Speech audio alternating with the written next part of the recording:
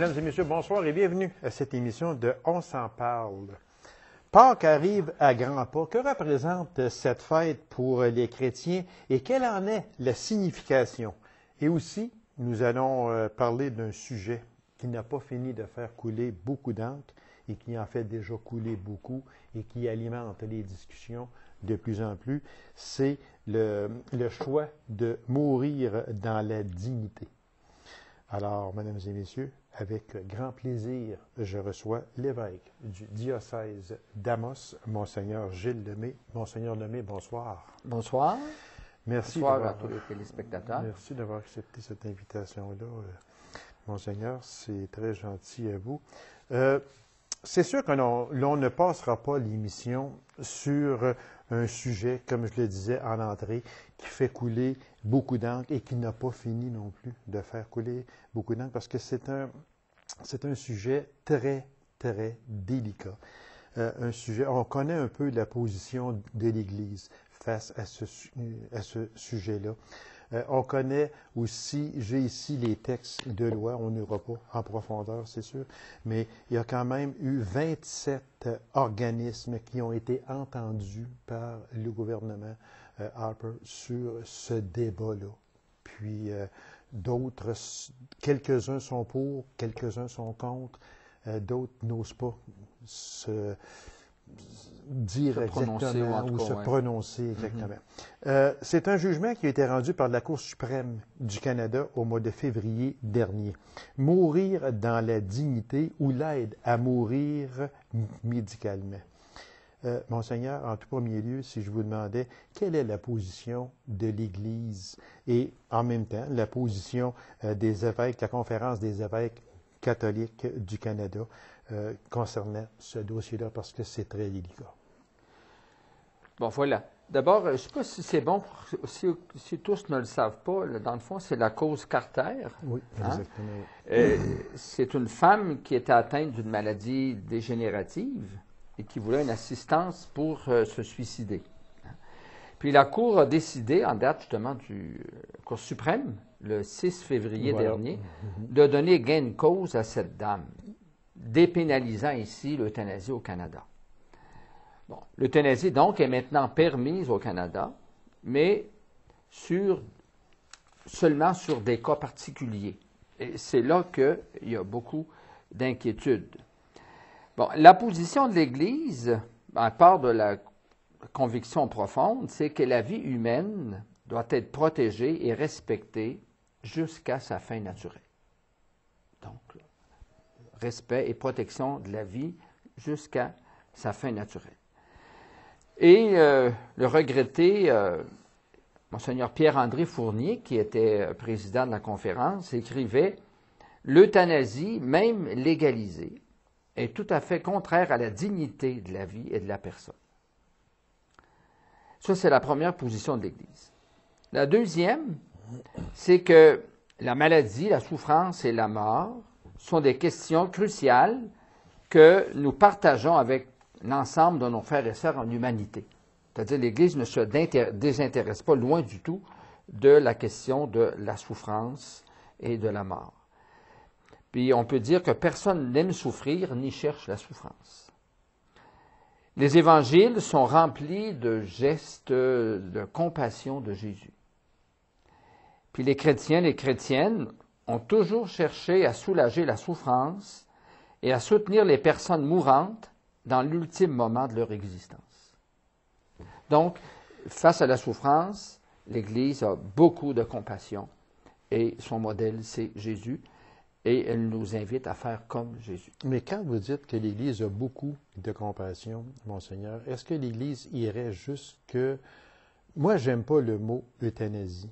Euh, je de toute façon, moi, je n'aime pas ce mot-là parce que... Mais est-ce que l'Église peut aller jusqu'à approuver d'une certaine manière ce projet de loi-là?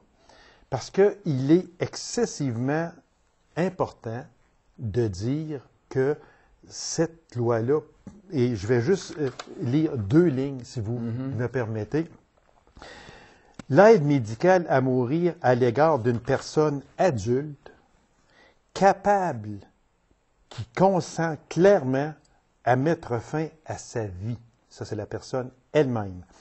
Et qui est affectée de problèmes de santé graves et irrémédiables, y compris une affection, une maladie ou un handicap lui causant des souffrances persistantes qui lui sont intolérables au regard de sa condition. Ça, Monseigneur, c'est excessivement important, ce petit bout de, texte. C'est que on ne peut pas dire cette personne-là, elle est inconsciente, on va mettre fin à ses jours. Ça va venir de la personne. Est-ce que on est libre, je parle comme personne, comme être humain, est-ce qu'on peut un jour être libre de dire, moi, c'est irrémédiable, c'est dégénératif, je n'en peux plus, je veux mettre fin à ces Je ne dis pas mettre fin à ces jours, je dis mettre fin à ces souffrances. Est-ce qu'on peut aller jusque-là?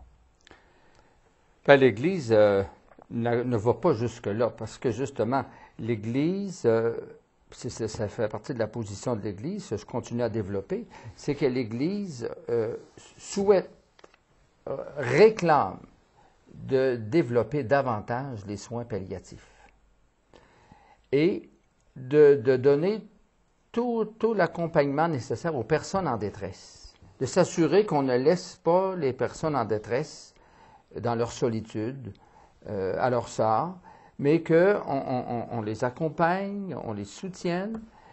Et les soins palliatifs, euh, je dirais depuis qu'ils ont été développés, ont, démontré qu'ils ils soulagent, euh, je dirais, la personne qui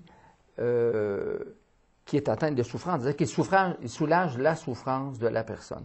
Donc, l'Église dit, développons les soins palliatifs parce que l'euthanasie, c'est contraire à la dignité de la personne. Il reste. Oui, euh, oui allez-y, monseigneur. Si je continue à développer la position de l'Église, ben, l'Église dit il y aura là.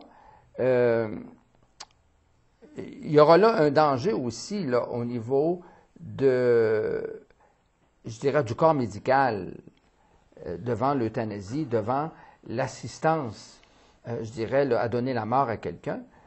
Euh, d'abord, les, gens, les médecins ont étudié pour, pour soigner, pour guérir les maladies, et non pas pour, pour donner la mort. Et ce que l'Église euh, va dire, dit aussi, ben, il y aura là un grand défi qui va être le respect de la conscience, de la liberté de conscience. Hein. Parce que ce n'est pas tous les médecins qui, euh, qui sont favorables à, l'euthanasie. Et euh, le, risque est que les pressions deviennent tellement fortes que on, la personne se sente obligée ou soit forcée à poser un geste avec lequel elle n'est pas, euh, n'est pas dans sa conscience euh, en accord. Monseigneur, quand, vous dites que, bon, c'est sûr qu'il y a quelqu'un qui va rendre un diagnostic final. Mm-hmm. La personne placée pour rendre un diagnostic final, c'est le médecin.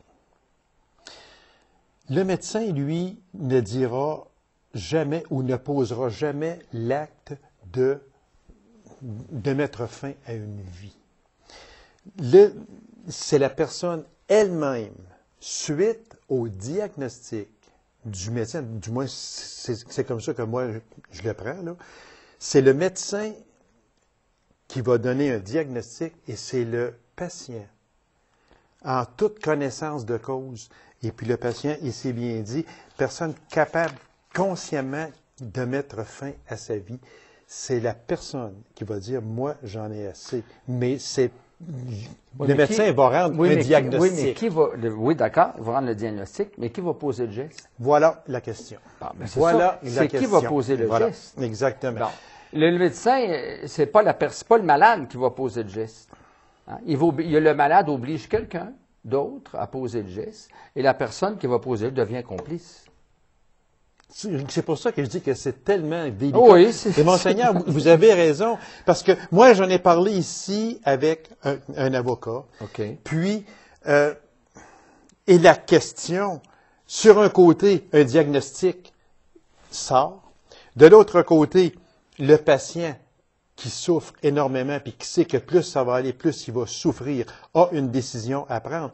Et, troisièmement, qui qui va poser le geste avec en grosses lettres majuscules, le geste.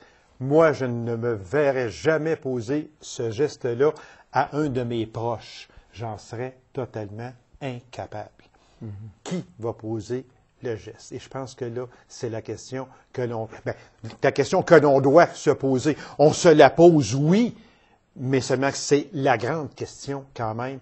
Qui va poser le geste? Et vous avez tellement raison, Monseigneur, quand vous dites que celui qui va poser le geste en lettres majuscules devient un complice. Ben oui, il devient un complice. Mais est-ce que la loi va le protéger? Ça, c'est encore tout des, des textes. On ne, on ne rentrera pas là-dedans, là, c'est sûr.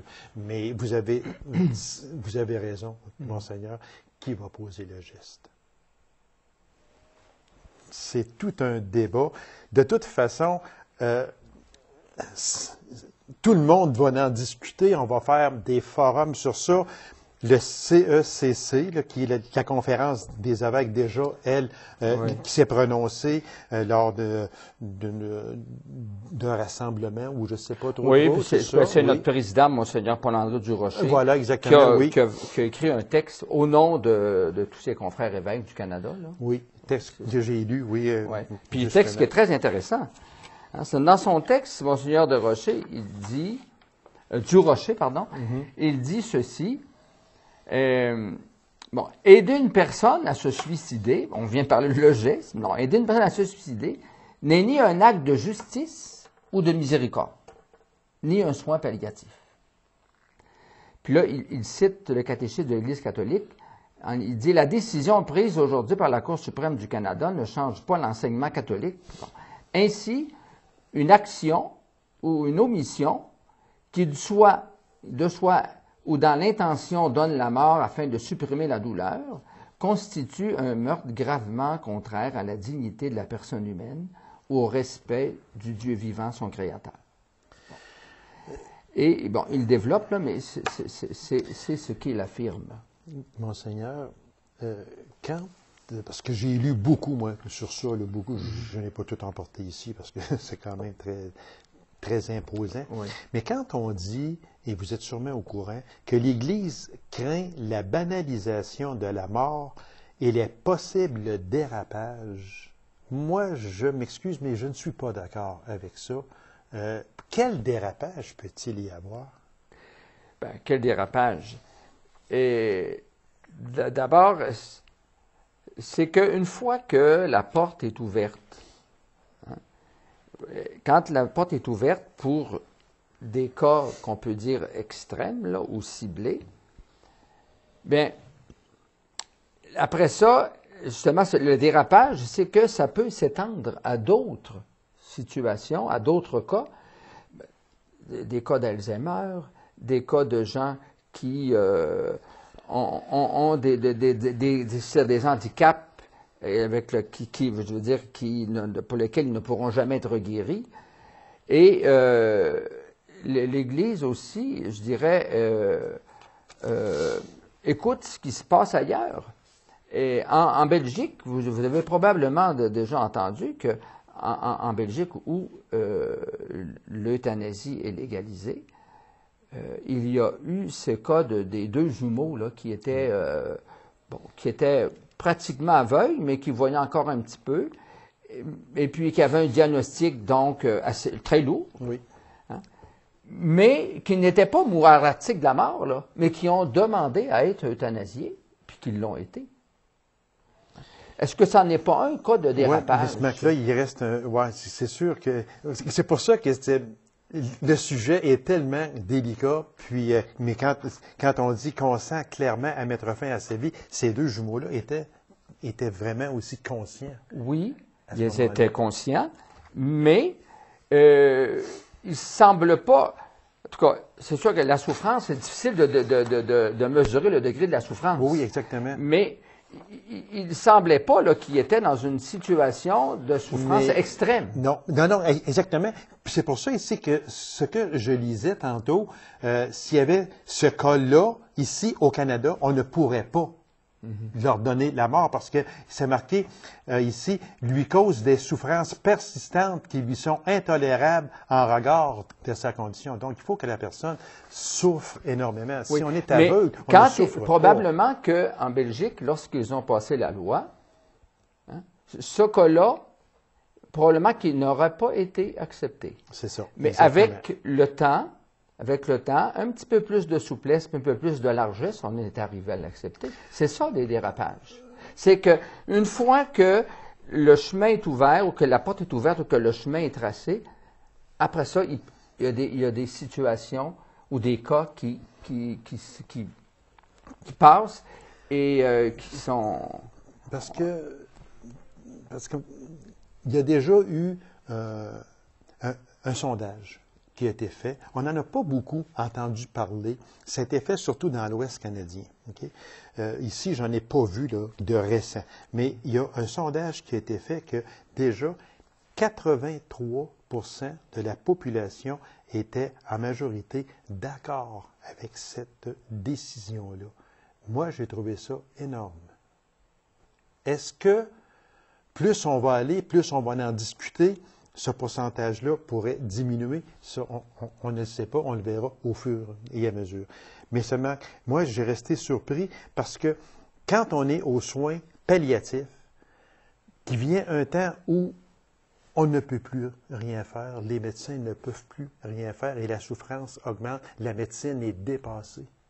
je pense que c'est là peut-être que le gros, le gros du sujet là, va devenir euh, à l'avant-plan à ce moment-là, c'est que quand les, souffrances deviennent intolérables. Oui, mais moi, ce que, j'ai entendu de la part des soins palliatifs, c'est que dans les, soins palliatifs, les médecins, euh, je dirais, ont développé des capacités de donner le médicament approprié pour soulager la souffrance, mais de façon graduelle, et non pas le, coup fatal qui va faire mourir la personne. Quand vous dites à part ça que la population, il y a un, élevé pourcentage, bon, j'en conviens. Euh, moi, je n'ai pas fait personnellement de, sondage.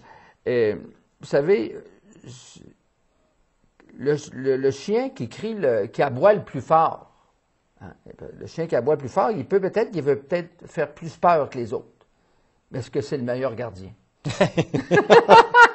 Hein? Souvent, mais, c'est ça. Souvent, c'est que actuellement, les médias mettent beaucoup de, d'emphase sur, cet aspect-là. Dans ça, il y a un aspect nouveauté. La, culture a changé beaucoup. Hein? Euh, au lieu de, on ne tient plus compte dans un premier temps d'un bien commun et de la, de la je dirais, de la loi euh, naturelle qui s'appuie sur le, projet de Dieu, mais on y va, on a glissé vers la, première place au droit individuel. Au droit, alors, à ce moment-là, quand on donne la première place aux droits individuels, ça change beaucoup la, décision au bout. Euh, Monseigneur, peut-être une, peut-être une, un peu boiteuse comme, euh, comme réplique, si vous me permettez, mais il est vrai qu'on ne laisse pas souffrir un animal. On va euthanasier mm-hmm. l'animal. Là, je vais peut-être aller loin un peu, mais pourquoi ne pourrait-on pas faire la même chose avec un être humain? Ben, c'est que l'être humain, il y a une âme. L'être humain, là, il est à l'image de Dieu. L'être humain, il est créé à l'image de Dieu, à la ressemblance de Dieu. Puis c'est la plus grande dignité que l'être humain a dans toute la création. Ce que n'a pas l'animal, ce que n'ont pas les oiseaux. Euh. Et euh, notre, Dieu qui s'est fait homme hein, nous, a indiqué un chemin de compassion, sur le grand chemin de compassion qui était celui de prendre la souffrance humaine sur la croix. Et c'est pourquoi, euh, dans la foi chrétienne, je dis bien dans la foi chrétienne, l'Église nous, nous, propose Jésus comme modèle et nous invite à croire que quand on dans la souffrance, on n'est pas seul, que Jésus la porte avec nous. Et que notre, souffrance, elle, va être, dans l'offrande de Jésus, elle est transformée. Elle est transformée en, en fruit qui donne la vie. On ne sait pas toujours à qui, mais en fruit qui donne de la vie.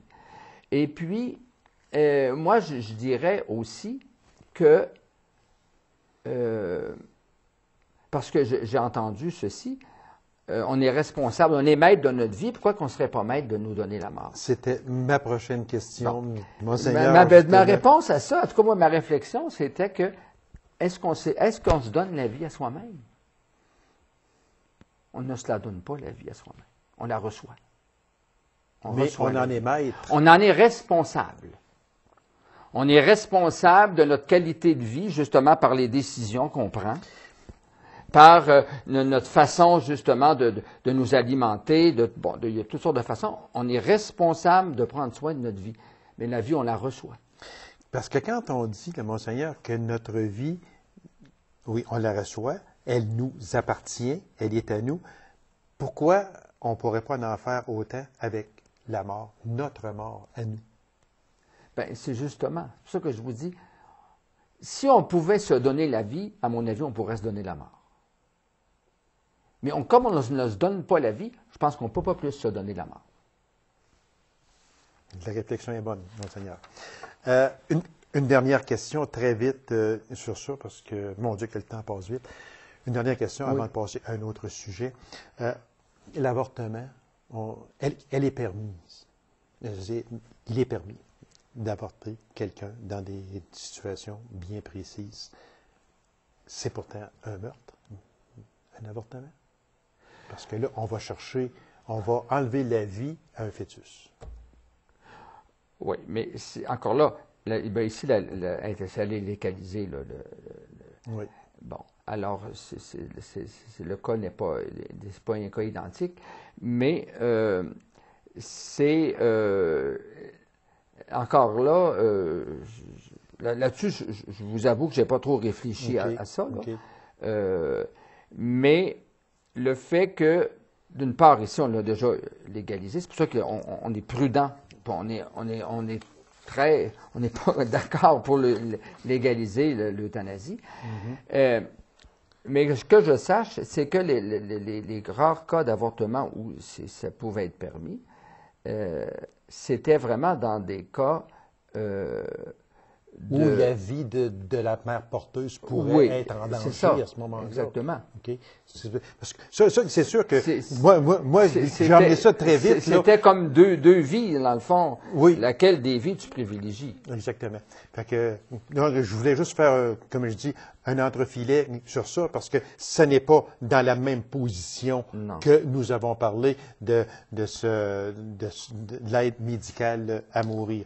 Ça, on pourrait embarquer aussi dans ça. Mais on va laisser la population en général et notre bon gouvernement décider parce qu'ils ont, euh, les gens ont jusqu'au 6 février 2016 avant que cette loi-là soit adoptée officiellement. Mais je suis certain, et vous en conviendrez, Oui. Monseigneur, qu'il va y avoir des changements à l'intérieur de cette loi-là, possiblement. Possiblement. oui. Parce qu'avant qu'un gouvernement dise oui, on met ça à l'ordre du jour et on accepte ça, là, c'est la Cour suprême qui l'a dit, mais seulement qu'il faut aussi que ce soit entériné, etc., etc. Je pense qu'on va en parler, puis on va, on va faire couler beaucoup d'encre euh, sur, sur ça encore. Oui, puis avant. nous, les évêques, on- ce qu'on, ce qu'on- il y a comme un consensus.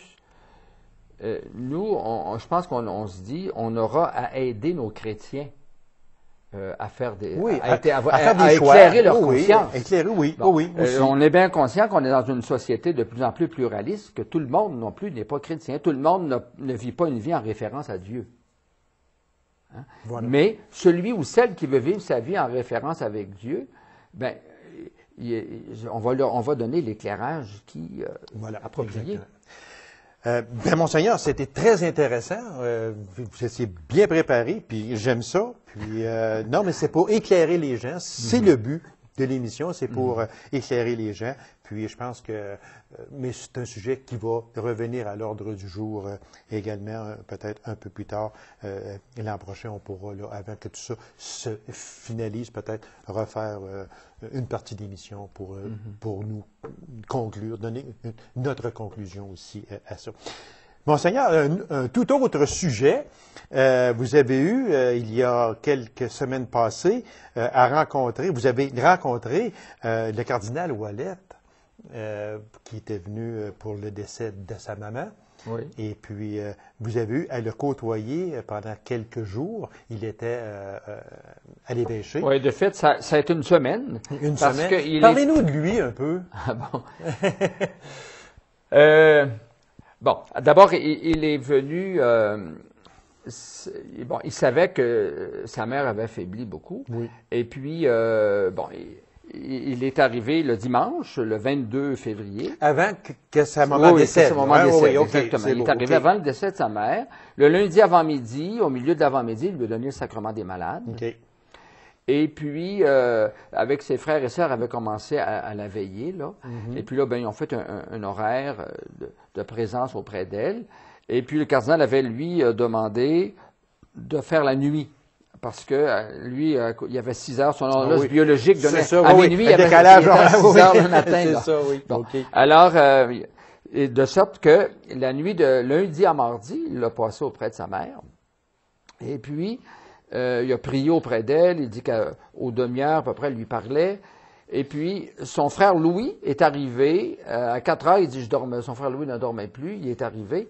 Et puis, à 4h30, ils étaient tous les deux. Et avant 5 heures, là, le- le- le- leur mère était décédée. OK. Et puis, donc, moins de 20 heures après lui, qu'il lui a donné le sacrement des malades, elle est décédée. Et ça, c'était le mardi matin, à la première heure. de- et elle est- euh, les funérailles ont eu lieu le vendredi, Voilà. euh, le 27, euh, à la motte. Bon, le cardinal lui-même, euh, dans sa personne, je dirais, ben d'abord, évidemment, il, il a, il a- il a- il a, comme tout fils qui perd sa maman, il- il- il a eu- Mhm. Peu importe l'âge, là. peu importe l'âge, bon, il, y a, il a eu de la tristesse, il y a Ouais, eu de la ça, peine. oui. Par contre, il a vu que ça avec, euh, la- dans la foi aussi, là, dans la foi et l'espérance chrétienne. Mhm. Et il a présidé les funérailles, là, euh, une très, très belle célébration de funérailles. Il a fait une très belle homélie. Et puis, il y a eu un très bel hommage fait à, à Mme Graziella Mhm. par trois de ses petites filles. Et puis, euh, bon, le cardinal est reparti pour Rome euh, dimanche, donc il est une semaine complète là qu'il a vécu à l'évêché. Euh, il est en bonne santé. il aime toujours ça à Rome, oui, parce ah, qu'il oui. a quand même un rôle très important à Rome. Là, on me fait signe que c'est terminé Ah, déjà. Fait que, euh, mais euh, il aime, Il aime, toujours ce ça. qu'il fait. il est oui. heureux. On, ça paraît qu'il est heureux. Ça va bien. La semaine précédente, il, il avait rencontré le pape par deux fois. Ah, OK. Parce qu'il est quand même assez proche. Oh, du il est pape très aussi. proche. Monseigneur, merci infiniment. On n'a même pas eu le temps de parler de la fête de Pâques, mais on souhaite une joyeuse Pâques euh, Oui, à jo- tout le monde. Et puis, euh, euh, merci de votre présence euh, à cette euh, émission. Puis surtout, merci d'avoir euh, euh, d'avoir ouvert votre parole, euh, ouverte votre parole, euh, surtout sur un sujet aussi délicat que celui-là. Puis, euh, on, on vous remercie infiniment. Vous étiez bien documenté. C'était très plaisant. Ben, J'espère que ça va aider. Merci beaucoup à vous autres. C'est moi qui vous remercie. Alors, mesdames et messieurs, merci d'avoir été là. On se rendez-vous à une prochaine émission. On s'en parle. Au revoir et bonne semaine.